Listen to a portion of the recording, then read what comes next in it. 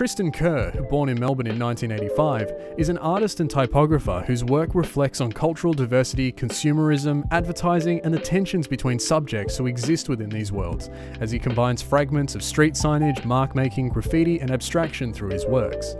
All this mayhem, created for the Big Picture Fest in 2018, is an acknowledgement to the troubled Melbourne skateboarders, the Pappas brothers, who fell from grace after a hedonistic lifestyle.